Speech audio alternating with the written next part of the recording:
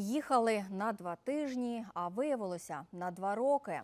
Через бойові дії додому до Мар'їнки не може повернутися родина переселенців Водько. Батьки і двоє дітей туляться в кімнаті гуртожитку у сусідньому місті.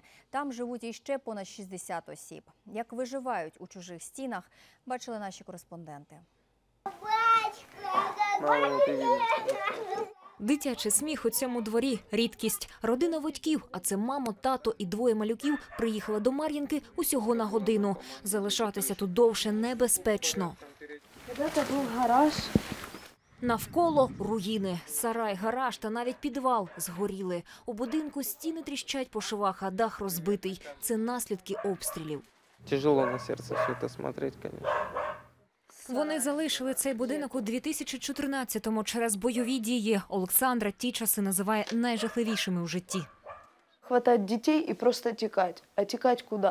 Везде оно падає, везде оно бомбить. Дітей отак от закриваєш. Одіяло дитяче, детское обычное. Дети были в маечках и в трусиках. Через війну чоловік залишився без роботи. Не приховують. Іноді їм навіть продуктів купити нема на що. Если кому-то там нужно там бабушке, дедушке огород помочь, вскопать, даже не в плане денег, просто там какие-то продукты, там баночку молока дадут, все для детей. Безгрошів'я змусило родину перебратися у гуртожиток для переселенців у Кураховому. Думали, їдуть на два тижні, а виявилося на два роки. Была пустая комната, полностью пустая. То есть был единственный плафон и все.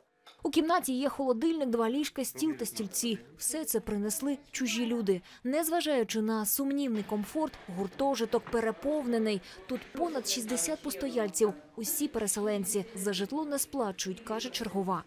Стреляют, спасаются, сюда приезжают. Где кто куда может уехать, тот туда уезжает.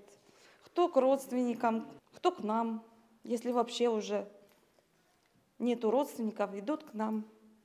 У Кураховому весь цей час родина переселенців підтримує гуманітарний штаб Ріната Ахметова. Людям регулярно привозять продукти. Цього разу доставили і роздали майже тисячу наборів виживання. Давайте, помогу. Допомогу надають найбільш нужденним. Це малозабезпечені інваліди, люди похилого віку та діти. Родина Водьків також отримує продуктовий набір. Ренату Леонидовичу очень огромное спасибо за такую помощь. Это единственный набор выживания наш, чтобы хоть как-то протянуть. Гуманітарний штаб Ріната Ахметова працює по обидва боки лінії розмежування. За час бойових дій вже роздано 8 мільйонів продуктових наборів, а це понад мільйон врятованих життів мирних мешканців. Юлія Міншакірова, Ростислав Сисоєв, Євген Якунін, Олексій Бова, Сабиті, канал Україна.